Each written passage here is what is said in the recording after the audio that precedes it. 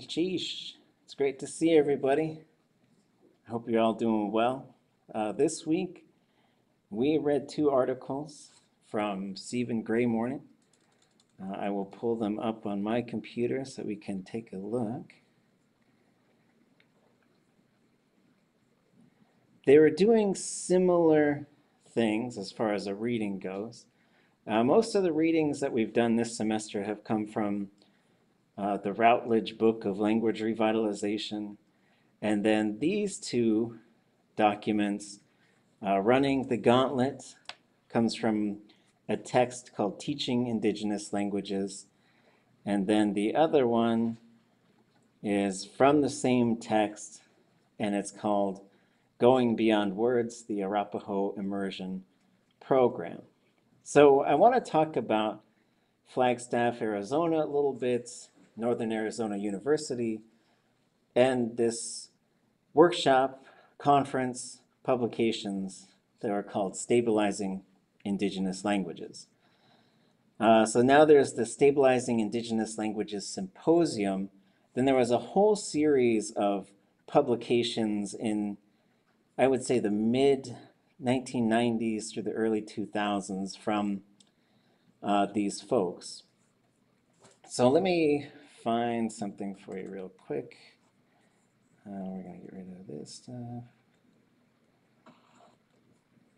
And I'm going to look for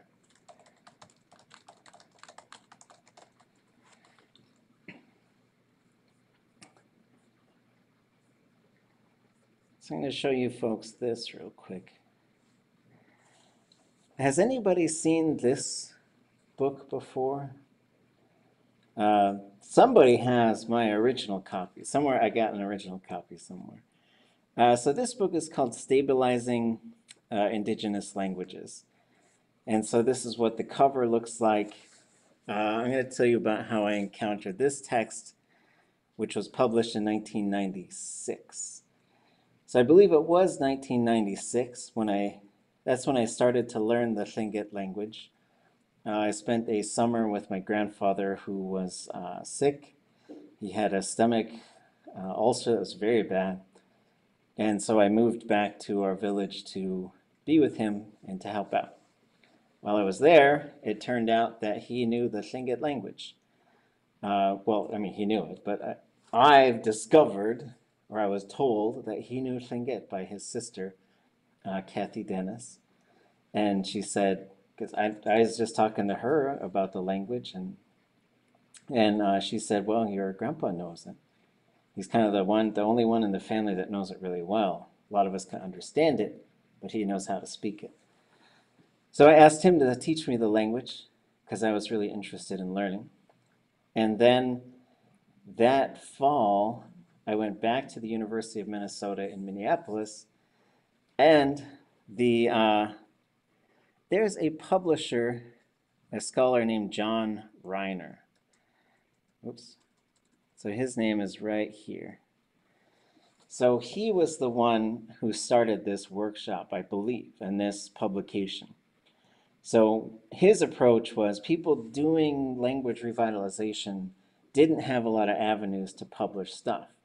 And if you do the academic game, you have to publish things in order to sort of keep going as a professor and be promoted. And that was especially in the 90s, you had to publish in these what they call peer-reviewed journals.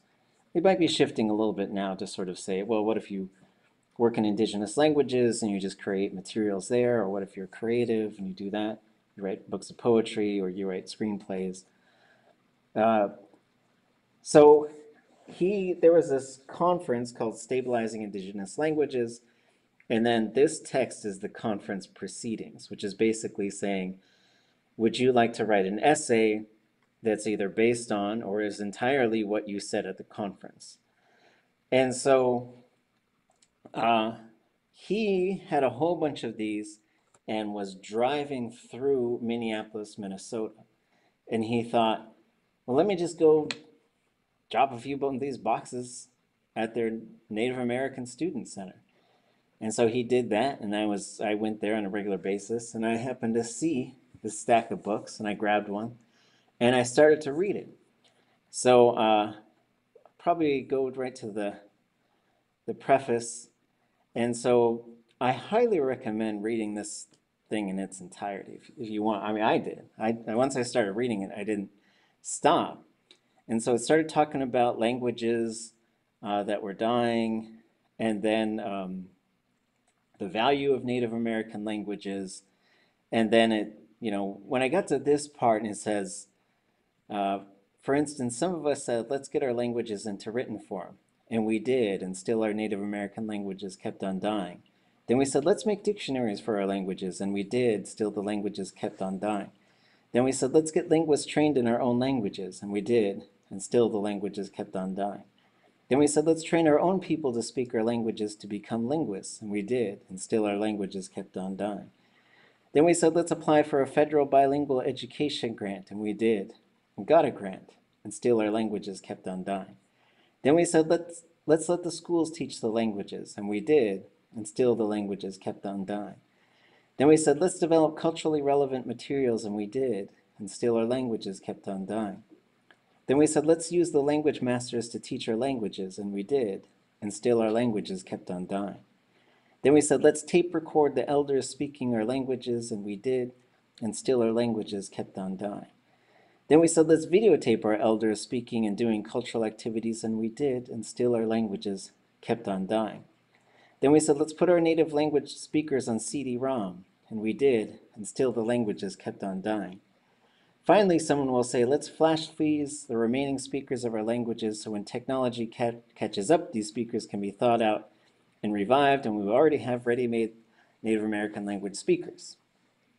And so it kind of goes on, and, and I was really just kind of caught by some of this stuff because I hadn't read things like this before. And so this really got me into sort of thinking about Native American languages and what needs to happen in this idea of stabilizing indigenous languages. So I wrote a paper and it was for an English class, an upper level English class. And uh, it was called Stabilizing Indigenous Languages. And I cited several of these articles. Uh, things from the preface, things from uh, a number of these different things. Bill Demmert was still alive at this time, and he was a contributor. Joshua Fishman was a contributor. And so I was really, uh, and Richard Littlebear were probably the three voices that I sort of really paid a lot of attention to. And just a lot of other things that folks were already talking about in here. And so what was interesting was uh, I got like a C minus on that paper. I don't know if, he told, if I told you folks this. But the teacher assistant who graded it wrote on there, why doesn't everybody speak English? And then just gave me a C minus. And so I fought it. I went to the dean, I went to the head of the English department, and I said, this is an act of racism. And you know, if, if they want to grade my paper, they should grade the paper based on the research and the writing, not on whether or not I'm talking about speaking English or not. And so that kind of got me fired up. And then there were a, a, a sort of a, a, things that were coming together. So one was this act of racism against indigenous languages. Two was this book was about stabilizing indigenous languages. Three, learning my own, one of my indigenous languages. And then four, just sort of realizing the general state of endangerment for all indigenous languages of Native America. And so probably 20 years after that, I was invited to be a keynote speaker at the Stabilizing Indigenous Languages Symposium, which, uh, which I recommend checking out. Let's see if I can find it. I don't know what their plan is. They were going to be, well, they held it in Ontario last year. And so usually I think it goes every other year and it kind of rotates to different locations. And it's a great conference. I've been to one. The first one I went to was in Hawaii. Uh, mostly it was held at Hilo. And so I went to it there at Hilo and really got to know some of the folks in Hawaii. Uh, that's where I really met and got to know Pila Wilson and Larry Kimura and Kauanoe Kamana and Namaka Rawlins and got invited into their PhD program. And then the next one, so I think that was probably 2014, maybe something like that. And then maybe 2016 or 17, uh, I was invited to be a speaker at the one at the Wind River Casino in Wyoming. And that is how we get to this current set of readings in the Arapaho language. So, any thoughts on Mr. Greymorning and his his two articles here that are talking about Arapaho immersion and running the gauntlet? You know, so just sort of developing an indigenous language program.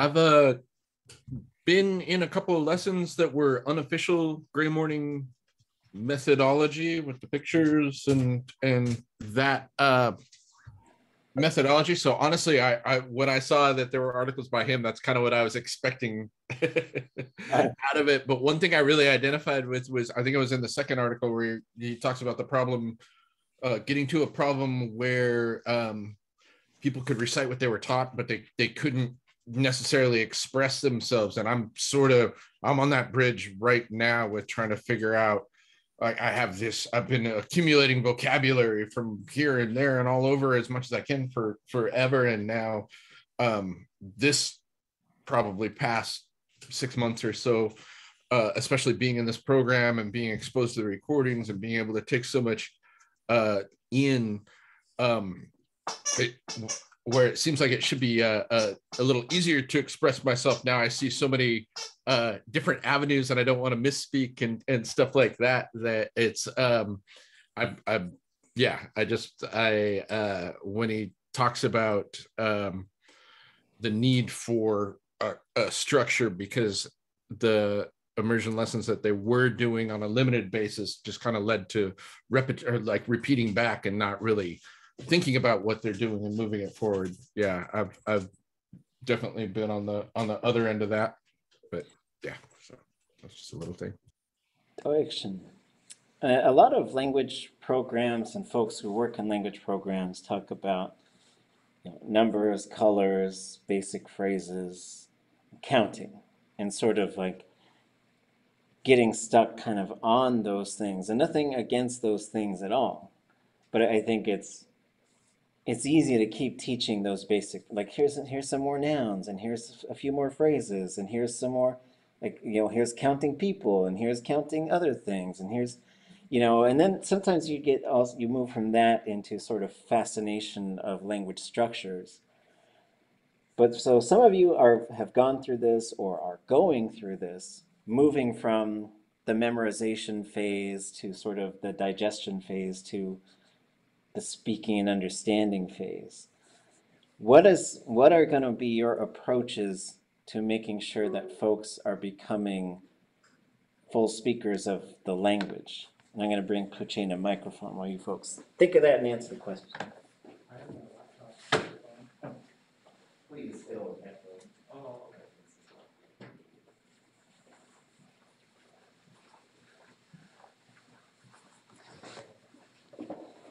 So what do you folks think?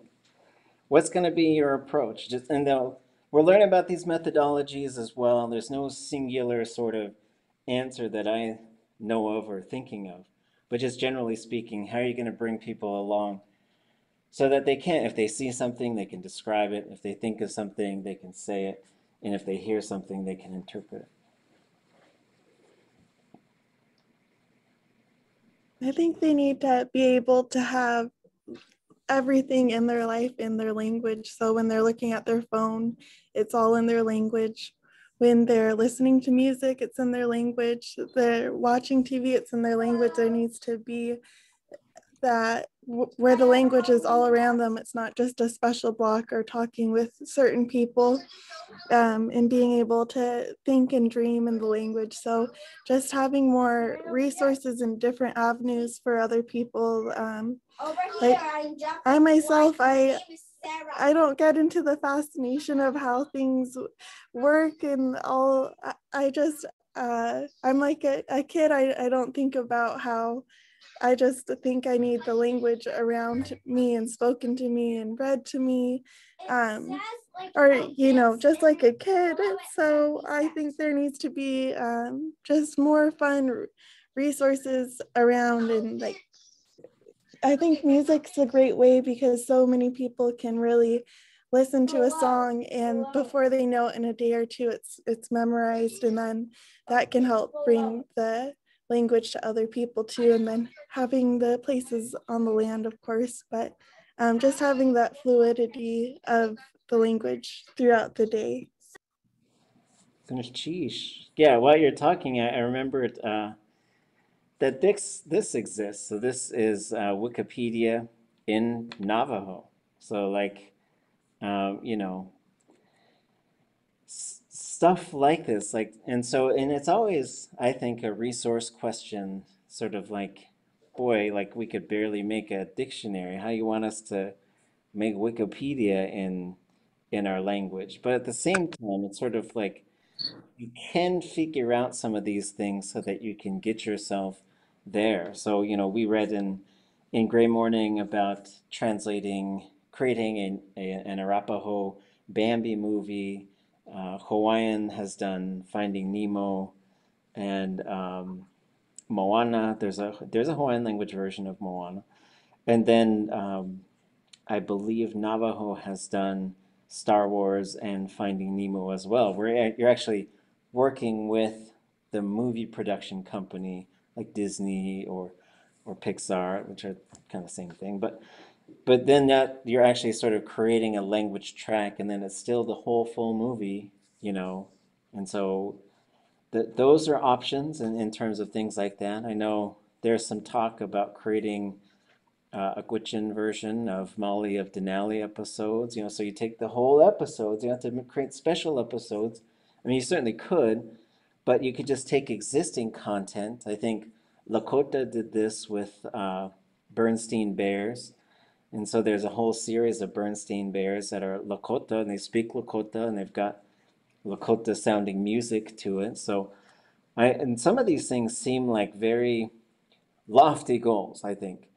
But I believe that if we developed, one thing that should be developed at some point is an Alaska Native Language Media Network that builds up a, a group of folks that have expertise and then a few sort of people to head, be project managers, which are producers.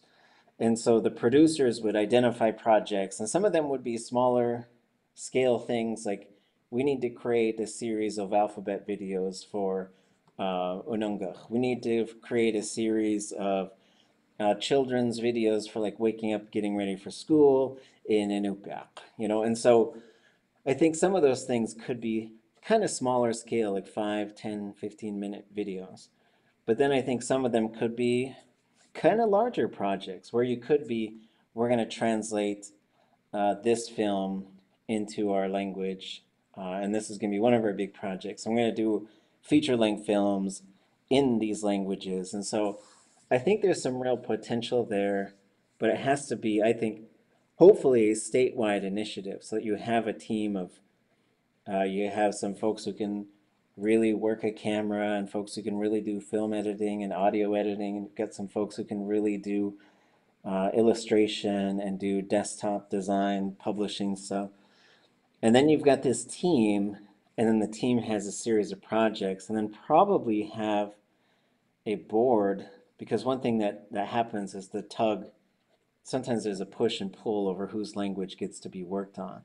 Whereas, you know, you can try and have some equity and say, okay, we've already done three projects in Tlingit, so we have to wait. We're going to do something in Haida, we'll do something in Tsimshian, we'll do something in Eyak.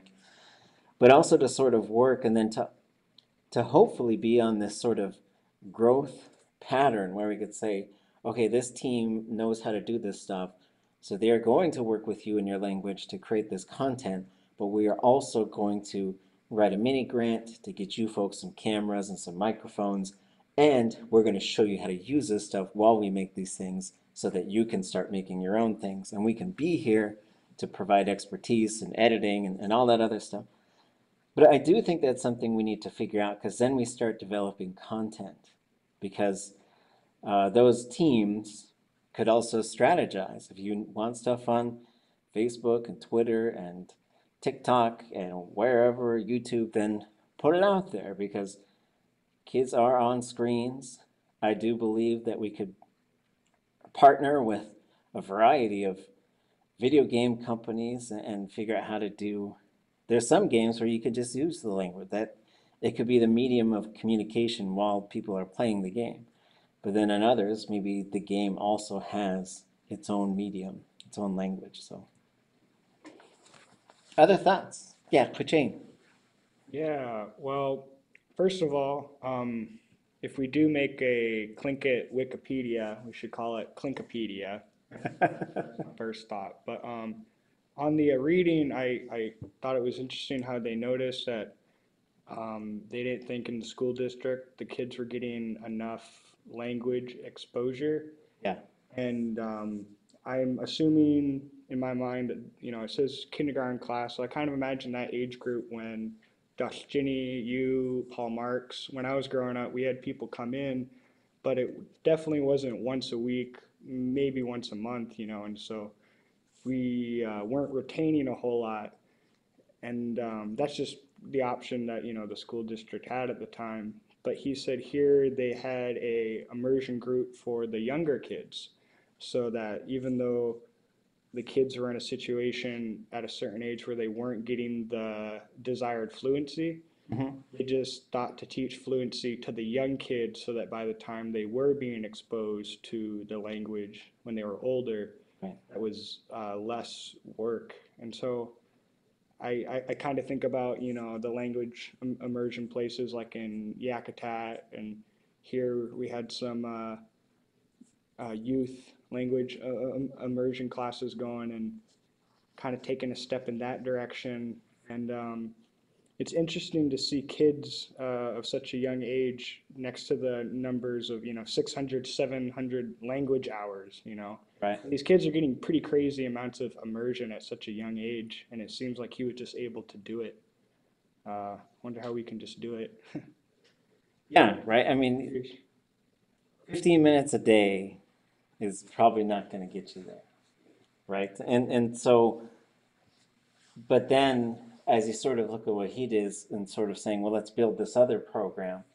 And you're going to run into these resource questions, I think, all the time, which was how many people do you have that can do the things and that will do the things?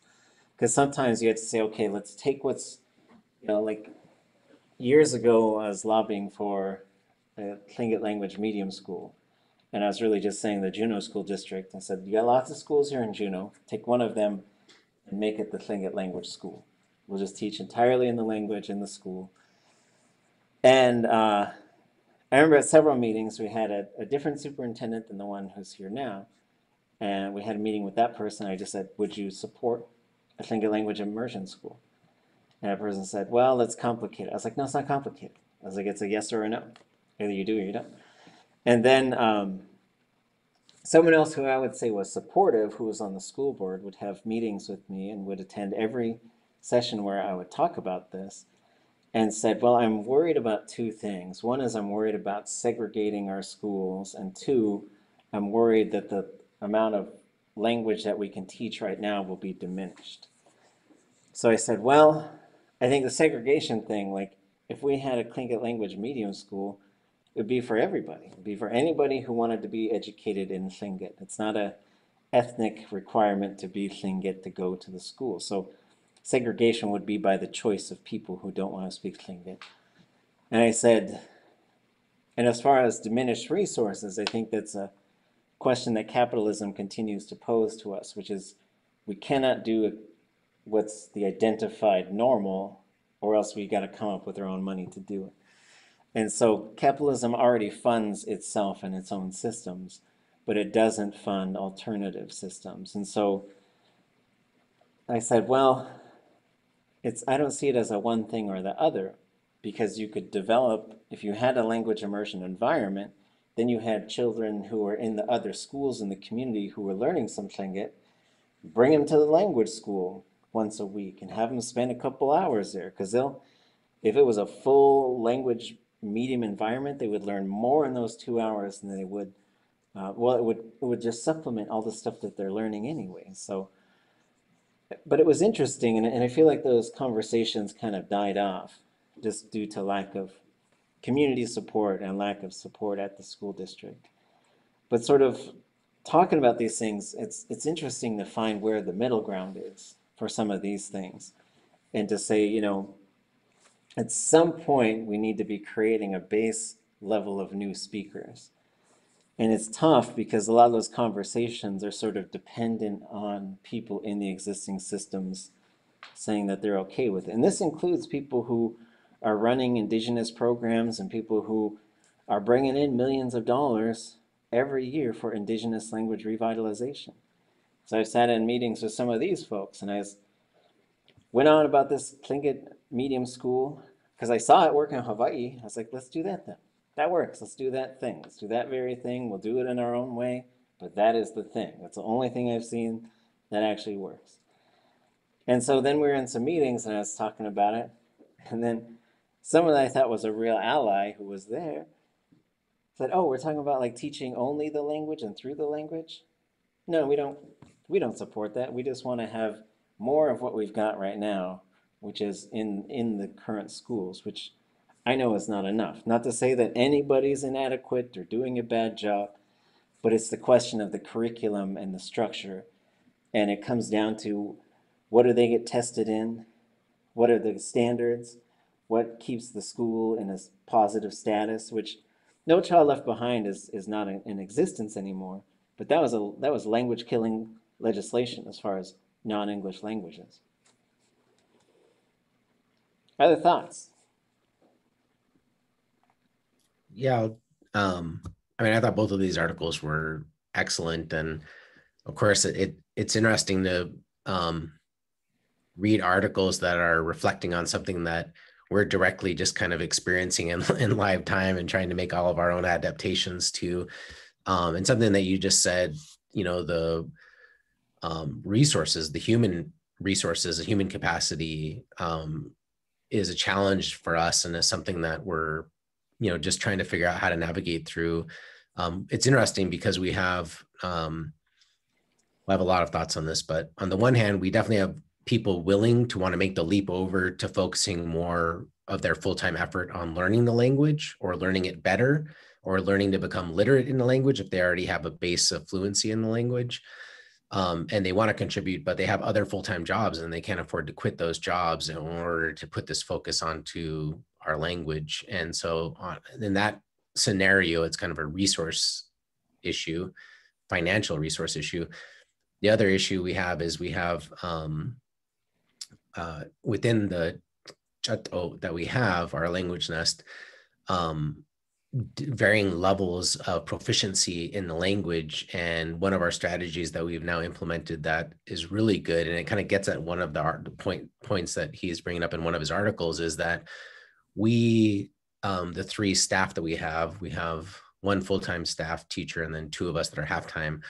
We now spend the mornings um, just talking with each other in the language and asking each other basic questions like what you do last night? Oh this is what and then they you know they answer oh this is what i did last night. What did you do last night? And you know what you know hey what you know what did you what did you cook? Oh i cooked this or this is what we ate. And so the kids are hearing us talking with each other in the language in that case oftentimes in past tense but then we also ask like hey what are you going to do tomorrow? And so they're they're getting to hear kind of the the past because mostly they hear current tense present tense because that's what we're talking to them in the in the class.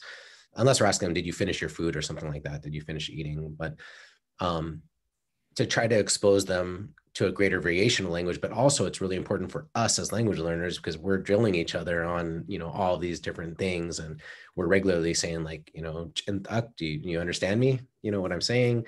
Or one of us might have to ask somebody else or the other two like oh how do we say this in our language, you know? And so that's the only time you'll ever hear English really in the chat is if someone's asking it in the framework.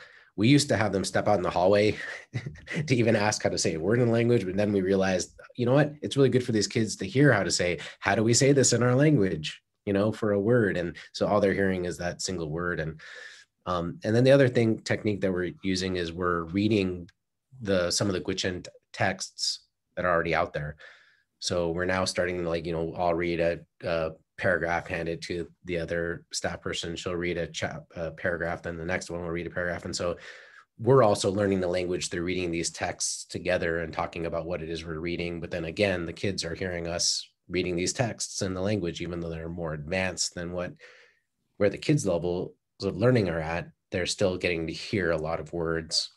And then we're also learning. So I mean, we're very much in that stage of um, deepening our own knowledge of the language, supporting each other through that, and and but then also trying to figure out how do we, you know, bring bring others into it. But I think that um,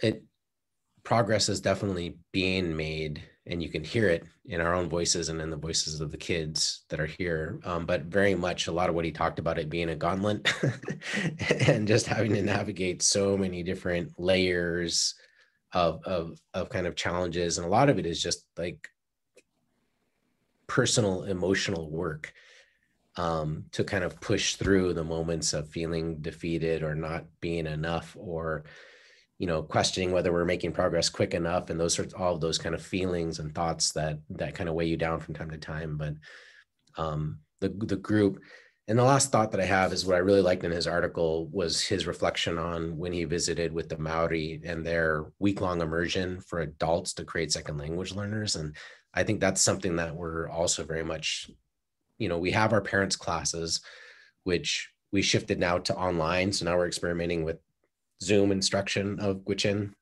for our parents and kind of our growing team of people. And now we're kind of at the point of thinking about how do we expand it beyond just the parents in the Chato to other people who are wanting to learn the Gwich'in language so that they could also have a virtual space that they could plug into to be learning Gwich'in as well. Um, but then also I've been thinking a lot about exactly what he wrote about, you know, because I do think we need some of those intensive immersion spaces to really advance the the learning curve for a lot of us who are second language learners. Anyways, I know that was a lot of thoughts. Yeah, no, that's that's wonderful. Like so some of the things that I would think about is one is yeah, we're we're gonna have to sort of put the language prestige on under the sort of under our own analysis and to indigenize the process. And and what I mean there is like do we value the language? And then I would usually say yes, but primarily at a symbolic level. Uh, and so, on a day to day basis, the majority of our people don't choose to speak the language. And also, if I wanted to become a language teacher, I'm probably going to have to work three or four jobs in order to really make ends meet and be comfortable. And I, I think as Indigenous peoples, a lot of our entities, like it's pretty common to have a project. And let's say this project is to make some sort of language thing. For the language thing, I'm going to pay a filmmaker $300 an hour to make this film. I'm going to pay my elder $50 an hour to be a part of the film. I'm going to pay the kids in gift cards and, and so on and so forth. And then I'm going to pay the folks who are sort of translating and doing all that work, maybe $25, $35 an hour. And so what we end up saying is the skill of making films is six times as valuable as being able to speak the language. And so we could probably do we say okay, filmmakers three make three hundred dollars an hour, like our elders make three hundred dollars an hour then. And if you're going to become a language teacher, we're going to figure out how to make that, you know, a, teacher.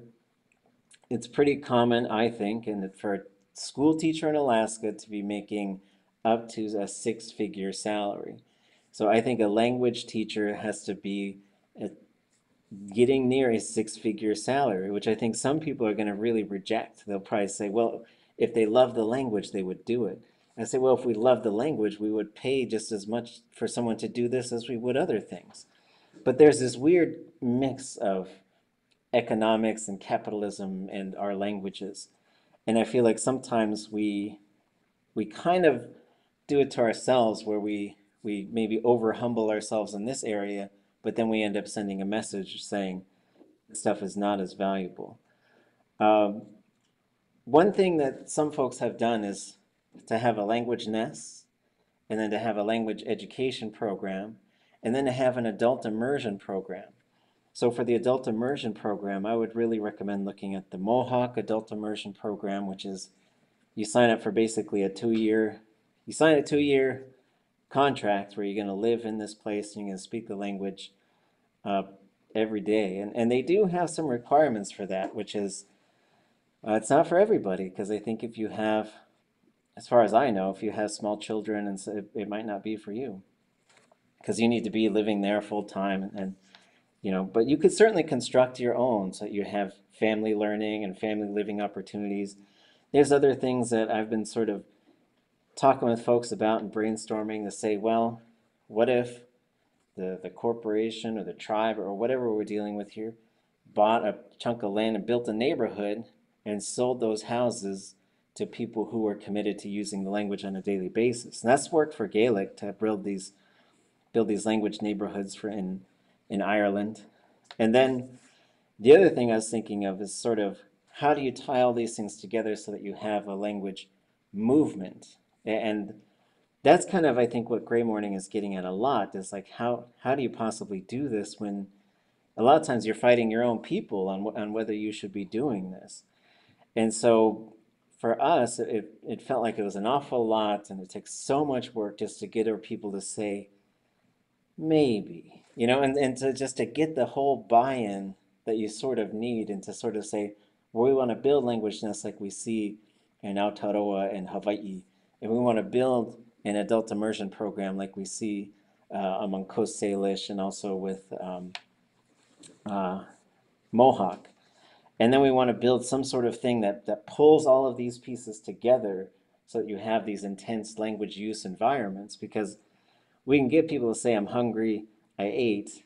But yeah, can you get people to say, I'm hungry, but I didn't eat because I have an upset stomach? I would have eaten, but all the food was gone by time I got there. And, and those, when you start to tie things together, it tends to get a little bit complicated.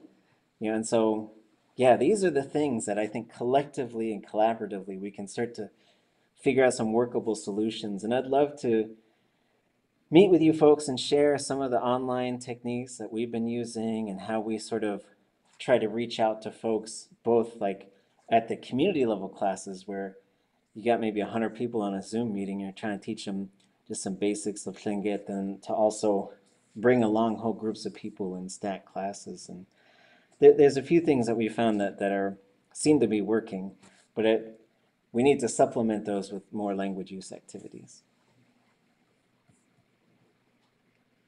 Any other thoughts, folks? It's good stuff. Renee, this is Wilson. I called in because I'm I'm in transit right now, but um, or I dialed in. But what I really appreciated about Greymorning's articles, especially the second one, was he didn't let best become the enemy of better. You know, he had his misgivings about how the school system was approaching language teaching, um, and he had this long vision of where he wanted um, young speakers to be and it was a long vision and he piloted and he grew and he molded and just kept going to the next better the next better and reevaluating um, you know how the students were doing and and um, where he would go next to kind of build on build on the approach and I also wanted to say I really agree with both what you and Yvonne are saying about the need for intensives, the um, adult adult intensives.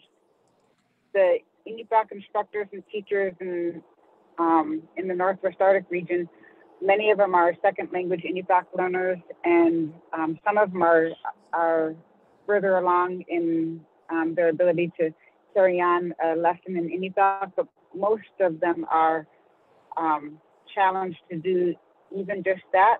And I, I get this feeling that confidence is a hard thing to keep up if you're not developing your own ability to speak Inupiaq in really um, contextual ways that, that bring your culture into the classroom and everybody's excited and it's everybody's lively learning and um, and I feel like the intensive approach would help our at least our teachers back home develop that not only the Inupiaq knowledge and the cultural knowledge, but also the confidence and the kind of the um, the brotherhood of it. Of this work is we're all in this work together, and we're all celebrating in this intensive about this cultural activity or event together, and and then bringing that out to our um, students and communities after that. I think that's that was an exciting way that um, for me that he left that article.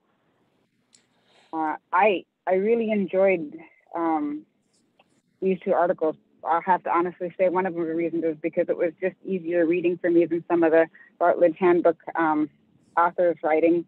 It I didn't have to read a paragraph three times over and parse it out as much as some of the others. But um, he was an exciting um, storyteller about his own language revitalization journey. So I really appreciated these two articles together. Hi, Koyana. And uh, yeah, so so thinking, you know, uh, some of the elders that I worked with too, I, remember they would comment like they said it, it's getting harder for me to speak because I just don't speak it anymore. You know, so even uh, you know, like building these language use environments is really helpful for our elders, for ourselves, for our kids. And so to sort of like um, to think about that, I, I want us to talk for a little bit about fluency and this concept of fluency and assessment and measuring tools. And I want to share with you folks some stuff that uh, I did research on. And so there's a book called um, Saving Languages by Grenoble and Whaley, which I highly recommend. I think you can get it on, I think the whole thing's on Google Books, perhaps for free. I know through, and I always check the library too, because the libraries, uh, the University of Alaska Library, so I usually go to the Egan Library website. Uh, but they've done a lot of work. Like we have a professor here, Jonas Lamb, and he's done a lot of work to make sure that we have digital copies of most everything that we use to teach, as long as there's digital copies available, which is handy because uh, we can buy the books, but then it's always nice to sort of have copies of them so we could say, where did I see that thing? And you can look it up. So I went through a number of different texts and sort of reviewed what they had for measuring fluent speakers. So sort of like we saw these measurements of language health, you can also measure an individual's level of fluency. I tend to not like the term fluent, not fluent, because I think that's too basic. And I think even we have elders who are speakers, but some of them can just do higher level stuff than others. And it's it's a sensitive issue. You don't want to hurt people's feelings, but you also want to know what you have to work with. And you also want to know how to get some people to this highest level. My personal feeling is if you went into a Tlingit village 300 years ago, everybody would speak the language, but you'd have this sort of common level of ability, and then you'd have maybe one out of every 50 or 100 people that could do this really high level stuff, which is literature and speech making. And the language just goes through some pretty dramatic changes when you do that. So, thinking of that, um, they have it in these sort of four categories. So, they say non speakers don't know the language, semi speakers, they're limited and they have passive knowledge. Highly proficient speakers means they can do a lot, but they might have some gaps. They need to go ask some uh, higher level speakers. And then they have fluent speakers. So, fully fluent with native knowledge of the language, they can comfortably do everything. So, this is one scale, sort of a four point scale. So, you get level one, two, three, four, however you want to look at them. The next one that I was looking at was uh, the Summer Institute of Linguistics Second Language Proficient, Proficiency Estimate of Vernacular Speakers. So, vernacular, here we come with the big words. Vernacular means day to day language. That's how I look at that term. So, they have levels zero through five. So, zero, unable to function in the language, um, can't really communicate. One, can do some minimum courtesy things. How are you? I'm fine. Are you hungry? Are you thirsty? some simple face-to-face stuff, but couldn't really do like maybe yesterday I was hungry or you know stuff like that. Two, able to satisfy routine social demands and limited requirements in other domains. So if you went and brought the language somewhere else, they could do some things. Maybe even if they hadn't done that before. Like I've never cleaned a caribou in the language, but I could, you know, if I brought my books, I could probably do quite a bit of that, but I'd have to bring the books, right? Uh, three, able to speak the language with sufficient structural accuracy and vocabulary to participate effectively in most formal and informal conversations. So I could I could talk about just about anything, and I could function, and I, pretty accurate in terms of grammar. Number four, use it fluently and accurately on all levels normally pertinent to needs. Uh, so again, like in this case, like I could take the language all over the place. And then five, uh, a hardly articulate, well-educated native speaker and reflects the cultural standards.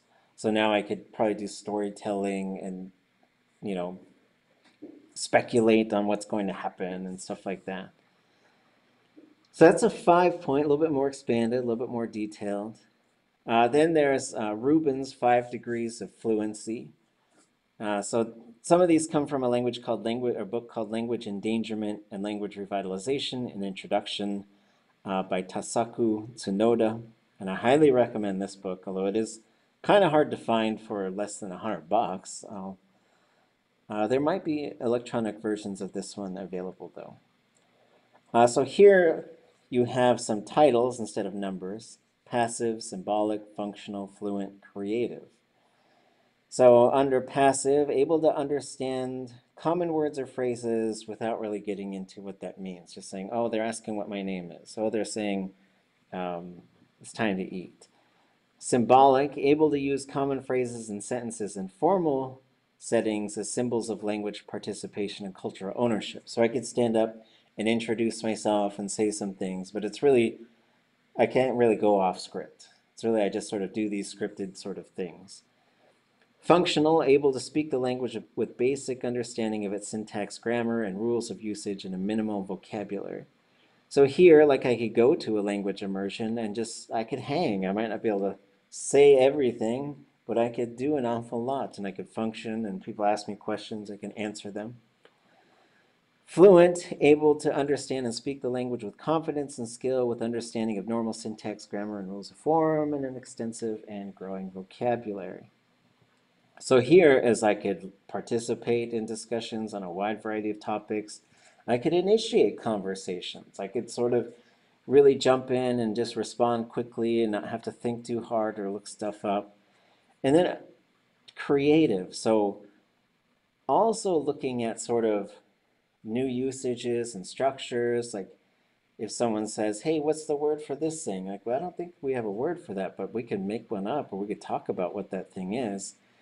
And then also sort of uh, potential uses and creativity, I think, is important here. And I would add speculation and imagination. If you can do those things in your language, then you're really taking it pretty far, I think.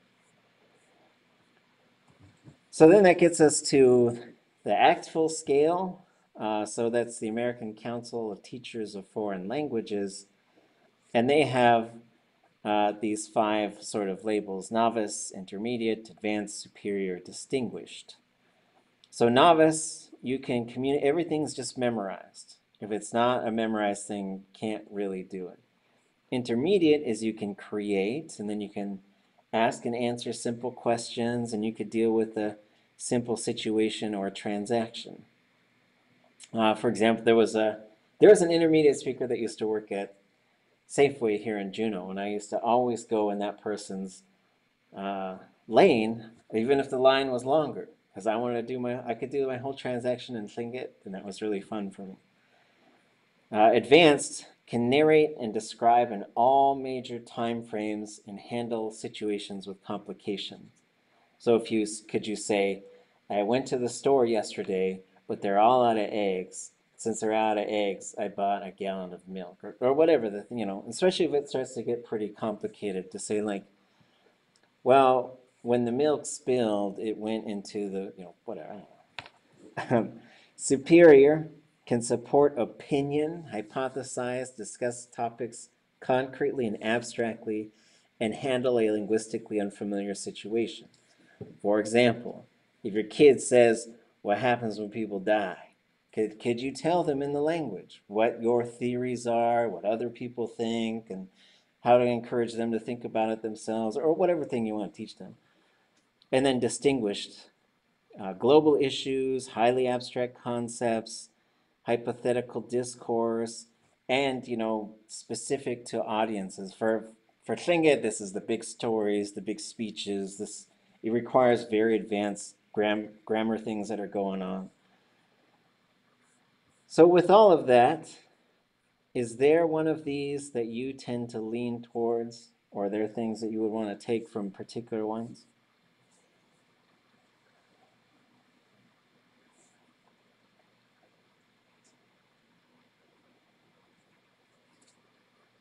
Kuching. Um, I would say what comes to mind for me, um, I don't like you, um, the, the term fluency with indigenous languages, that's kind of hard to apply. Um, I like the idea of, you know, like, like you're saying, people in their different niches and skills have language for that. Um, I was fortunate, uh, we had a weaving class with, um, with, uh, oh, I'm sorry, I can't remember her name, but we also had Paul Marks and Grandma Geist. I can't remember her English name, Oh. but um, we had Paul Marks there, and with his knowledge of fishing and seining, he was able to talk about how to tie knots in Tlingit. Um, the phrase was handiwork, gin, something. And then Grandma Geist was talking about TV and her dad's interpretation of a TV, which was playing in, in, in, in his mind. So, and she was talking about working at the smokehouse and, you know, just her end of that process of the uh, processing fish. And Paul was talking about being on the boat. And it was really great to see those two um, really similar levels of language. And you'd see one not quite know what to say and the other get really really excited just because it was you know part of them part of their way of life part of what they had done growing up and it was uh, easy to talk about so yeah um, not not looking at that black and white fluency and letting our ways of life be our the ways of that we speak you know Yeah. Okay, sheesh. Jeez. And there's a reality here with endangered languages that you might have to reconstruct certain things. Like your people might have been weaving since forever and might have been cleaning moose or, or whatever forever, but you might have to reconstruct particular scenarios. And I think getting enough folks to, to these higher levels of fluency, and I think fluent is the word to sort of tire, but I think fluency is a scale. It's sort of like, and, I think it's up to the language community to determine what that scale is, how to measure it, how to encourage folks to continue.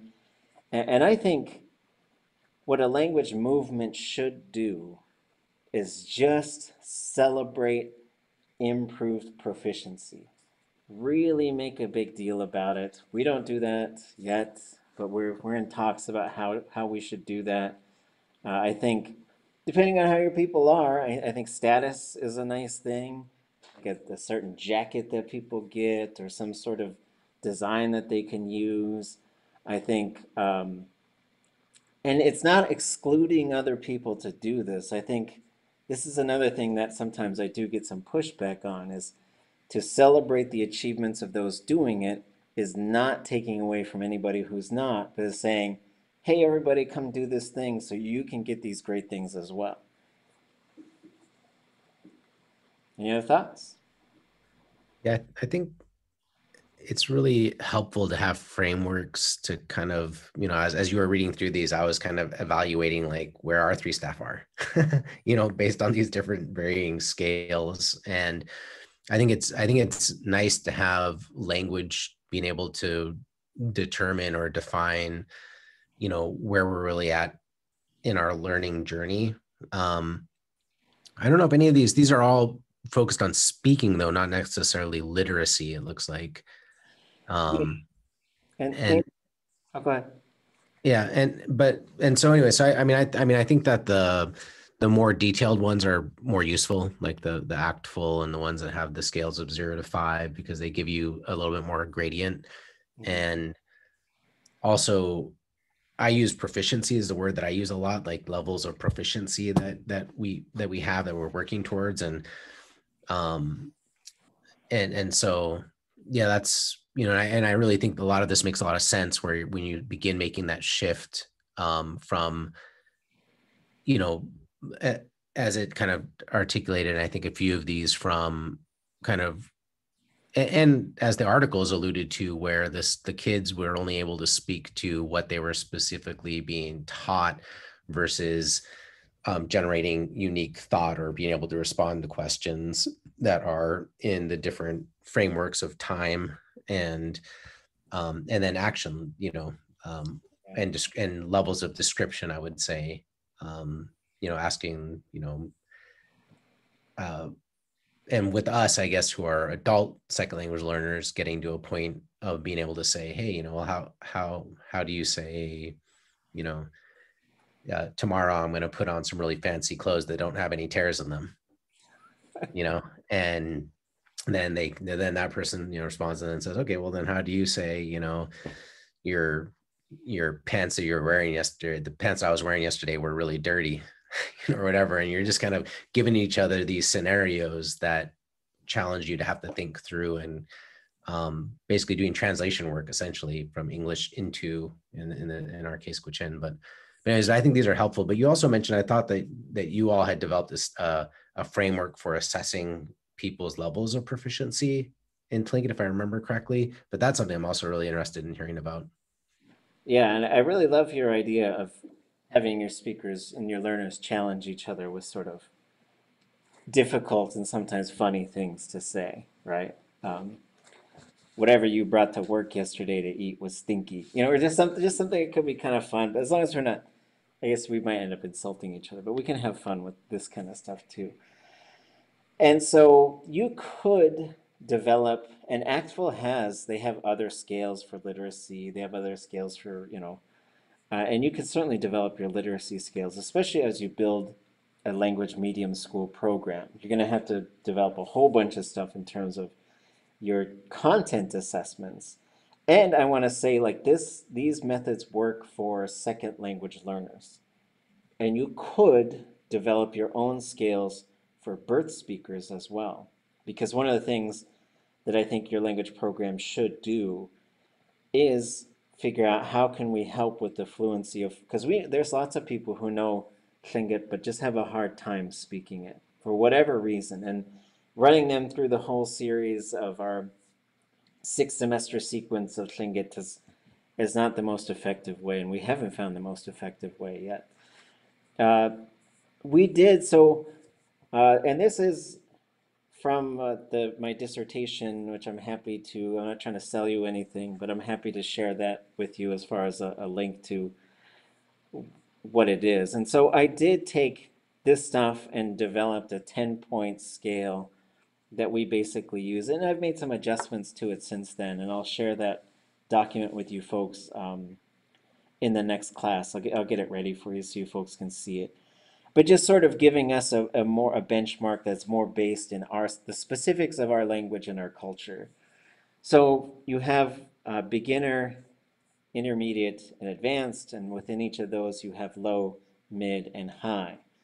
And then there's some basic things like low, you, you can't really do anything. Mid, you can you know about a hundred different phrases and about 160 nouns, uh, and then you know high, you know uh, almost 500 different phrases and 300 nouns. You can introduce yourself. You can substitute nouns in a whole bunch of phrases. I want this, I want that, I like this, I like that, my mom likes this. But they're all just very sort of basic level sort of things. At the intermediate level, you're starting to move beyond memorization to construction of the language, and you can also understand when you listen to the language you could understand generally what people are talking about, but you couldn't tell people what they were saying. As you go higher, you're getting into verbs and starting to move them for time. You're starting to be able to move the pronouns away around to say, I did it, you did it, they did it. Uh, you can repeat things, so you usually don't have to hear things more than a couple times before you've got the structure of it. And you can follow conversations really well, although you might have a hard time translating what is actually being said. For intermediate high, uh, now you now we start to get into some specifics about happened or is that was that way, uh, is happening, is that way, will happen, will be that way. You can talk about kinship and clans and, and those types of structures. You can follow long stretches of Tlingit uh, and you can respond to things when needed and possibly even give a, a formal cultural response to something that somebody said. And then you can give short speeches about things or tell little stories. For the high level, uh, it, it really starts to move into like more complicated things, being able to move them around, being able to speak for long periods of time, uh, which would include like if someone just sat down and said, uh, tell me about how you watch the weather and whether or not you're going to go out in your boat. And then, you know, or just something, it could just be something you haven't had time to prepare for it. People just ask about it. Tell me the difference between uh, a caribou and a deer. You know, just, just stuff like that. Uh, and then you can listen to very long stretches of the language at high levels without really needing to translate it. You can introduce other people and talk about them and, and give, you can use short narratives. At the intermediate, you can start to talk about global things and local things. Like I could tell you, uh, you know, the power went out the other day because this big storm. I could talk about that stuff. And then, uh, basketball tournaments are coming up and I could tell you about that stuff and uh, start to get into doubt, uncertainty, theorizing things, uh, using our Tlingit knowledge. Uh, you can start to get into some of these habitual and more conditional type of forms, understand pretty much everything. And then we get up to, huh, and then we can't measure you beyond this. And so, what we've developed when we first started doing language assessments, it was kind of getting this these panel of elders to sit down and have a conversation with you. Uh, but it's kind of shifted over time because I think having four elders sit there and talk to you, I think is actually really a high pressure thing. And so we usually just do this as a one-on-one conversation now with kind of a scripted thing. At the beginning, uh, it's just some pretty simple phrases, and then it's asking you to do some pretty simple list building things. And then for intermediate, the phrases start to get more complex and it's starting to ask you to talk about some things in some longer, like stringing some things together. And then when you get to advanced, usually they're more complicated questions and uh, there's usually one long stretch from a speaker, um, from some recording or something that's been translated and transcribed and you're asked to translate a pretty intense chunk of the language. And then you're asked to do some things that are a bit more complicated, and usually like tell me about a current event, uh, tell me something that you think is going to happen in the next five years, and, and just stuff like that that tries to get sort of a little bit less of memorize things that you can do and a little bit more to sort of an unusual kind of area. But that's that's what we do. I think the interview takes about an hour. It was developed uh, with the Yakutat Tlingit tribe, working with some of their speakers and also with their learners and their language team. And then sort of it's continually going through refinement, but it gives us a pretty good idea, I think, of where folks are at. And then it also, the missing element from my perspective is celebrating when folks go to, they go up a level. Like they, there should be like a, at the very least, the, the sound when, when Mario eats the mushroom or, or something, right? There, there should be something um, at the community level, I think, that's really acknowledging and showering praises and gifts upon people. Any other thoughts? And I'm happy to share all this information with you folks and take it and run with it to make it your own, you know. I have another question.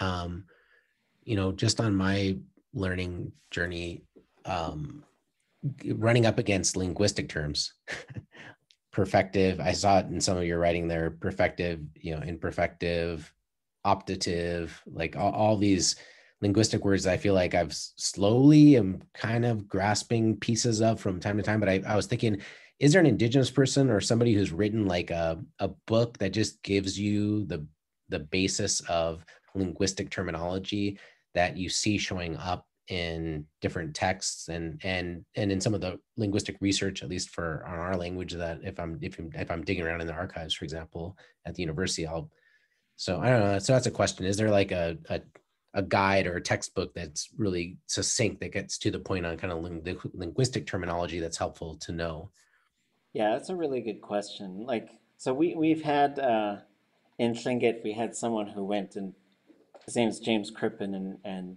he's Tlingit by birth, and uh, became a he got his PhD and his master's at both in linguistics, and so he's been really helpful to sort of continue to for, sort of figure out some of the finer points of the language, and then my role and, and a few others, like our role is to sort of take his work and the work of the other, other folks who do linguistics and say, okay, this is not going to be, some of this is not going to be helpful. It's going to be helpful for those of us who love to geek out on the language and figure out a whole bunch of stuff. But some of the terms, and, and this is something I think the Mohawk have done, and this is something we should have some workshops and conversations on, is how do you indigenize this process of documenting how your language works? I think phase one is to have someone in the language who's, who's studying, who's active, who's using it, who understands a lot of things in terms of the language belongs to the people forever, uh, to document how the language works. And then to work with the language teachers to say, which one of these terms do we need to adjust? Because we're not trying to a lot of the terms function really well for the community of linguistics to say, oh yeah, this is one of these things. Oh yeah, this is these.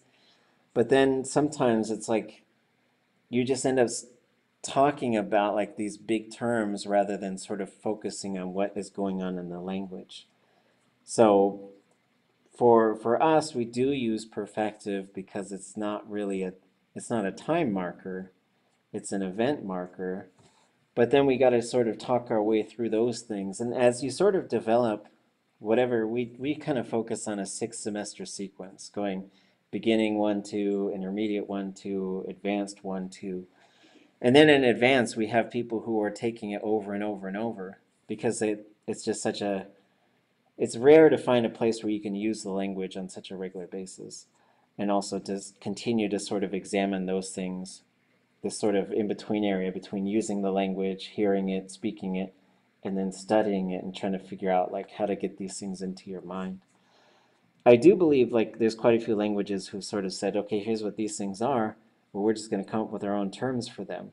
And I know in, in Hawaii, they, they do all of their grammar and stuff in Hawaiian.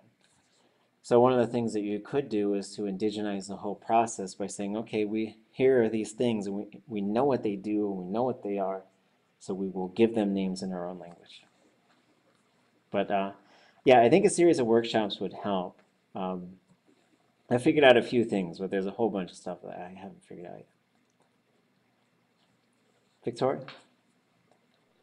Oh yeah, I wanted to say that um, Miriam Ignatius, I think that's her name, my teacher in, um, at SFU, she created a First Nations curriculum guide book with the actual and all that other stuff for the nations over there to to get funded for their languages. So I think that's a good resource. The other thing, um, going back to the elders, um, Dow, Terry Burr, she learned from three different elders. So they all had their strong points on um, what they would teach her. Like John Reese, he was a fisherman and a hunter. And then Gertie Johnson, she, um, her father was a preacher. So she got a lot, everybody brought her a lot of the food where she didn't have to go out and get it. So each elder had their own um, different aspects what they brought to the language. And I think the last thing that I wanted to talk about was sorry, my son too. um, when she did assessments on me, I think at one point I started off with like a half an hour and I was able to say like one or two word sentences. And then after like, um, we did this like every year, sometimes twice a year. And then my assessments just kept on getting longer and longer to where they were like over an hour and you had to come back and finish the assessment. And each of these are um, videoed where we can go back and look. So at one of them I had like pink hair and I couldn't like speak so it was it was a real improvement when um, our last assessment. Yeah. Nice. Yeah, I'd love to see that work by um, Marianne if you if you can share it with me. That'd be great. Oh yeah. Yeah, you can look it up. Deutschen. Any other thoughts, folks?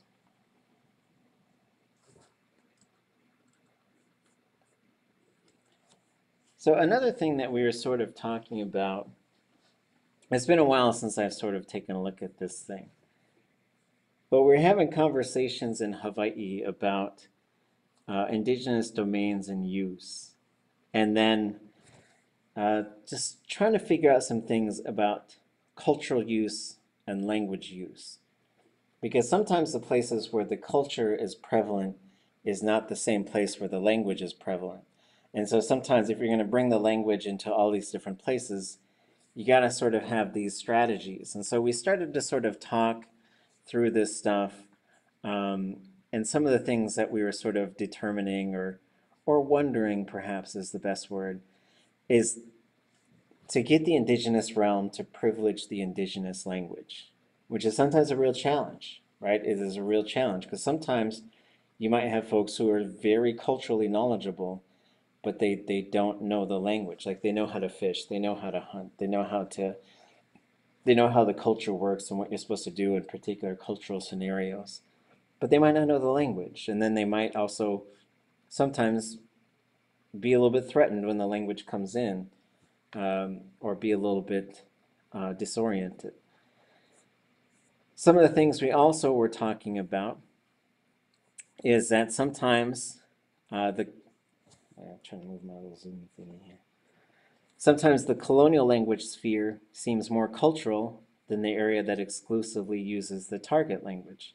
So those things become kind of interesting because you create these environments where the language is used and then sort of like they, they just become these kind of different areas, maybe a little bit scholarly, maybe a little bit sort of uh, if you have a language nest, the stuff that you're talking about on a day-to-day basis might be kind of different, but similar to other things. And so in in Hawaii, a lot of what they do is they say, make your school a home where the language is, the indigenous language is the primary language. The other things is sometimes you're focusing on indigenous culture and sometimes you're focusing on the entire society. So if you'd like your language to be all over the place, and sometimes you're, you're doing some work that does that. You're working with public radio or you're working with uh, developing media content. And sometimes you're just sort of looking at how do we sort of get our people to choose this language. And so thinking about this stuff like the colonial domains and then uh, the indigenous domains. And so, for example, some places where the language and the culture are there, you want indigenous homes. You want the language to be there uh, on a regular basis. You might have language centers. Like in, in an ideal universe, I think every one of our communities would have a place where the language lives and people can go there to learn it, speak it, use it, and it's it would serve the meet the needs of our community. It would also be a physical place where I know once I go there, like I gotta leave my English on the doorstep. Uh, language program offices, perhaps. Uh, private industry, maybe, maybe not, probably not. Uh, public schools, public spaces, uh, sacred locations, and then cultural centers. And so trying to sort of balance like this idea of just because the culture is there doesn't mean the language is there, and just because the language is there doesn't mean the culture is there. And just trying to be strategic about some of this stuff because if you want people to speak the language uh, at a non-indigenous domain, you have to have a different approach because sometimes you're trying to sort of get people to do that. Like, could you get people to to order coffee or something at the local coffee shop in the language? Could you get that place to move into the language for 30 minutes of the day and say, we'll bring a bunch of people there who love the language and who are going to do stuff? And that takes a different level of strategies than saying, oh, we're going to make sure that the tribal office or the ANCSA corporation office spends one hour a day in the language. Like that's going to be a different sort of strategy and approach. And you're going to find resistance to, to all of these things. So like these are just some things that, that I was also talking a lot, and especially with Pila, we, we talk about this stuff quite a bit. And sometimes strategizing which domains are you going to reclaim first. And it might not be a full reclamation, like we'll never speak English in this spot again. But it sort of just means, yes, the indigenous language lives here as well. So, good stuff, folks. We have TPRS on Wednesday.